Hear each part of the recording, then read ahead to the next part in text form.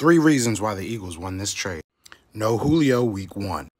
Titans being better hopefully makes the Colts worse. Win-win. And best of all, we still have all of our draft picks, all of our money going into next year. The Eagles won this trade.